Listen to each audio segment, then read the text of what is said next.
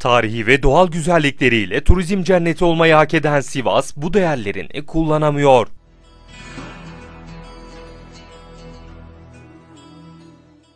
...2018 yılı verilerine göre Sivas'taki Bakanlık Turizm Belgesi ve Belediye Belgeli Turizm Tesisi sayısı sadece 11 olarak kayıtlara geçiyor.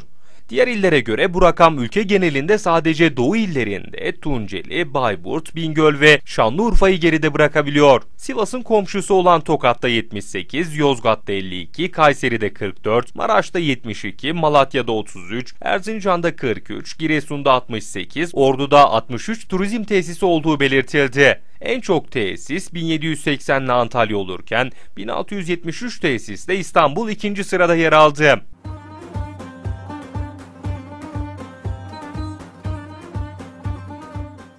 Sivas'ta turizm potansiyeli olmasına rağmen sadece 11 tesisin bulunması ise şehrin turizmine verilmeyen önemi gözler önüne seriyor.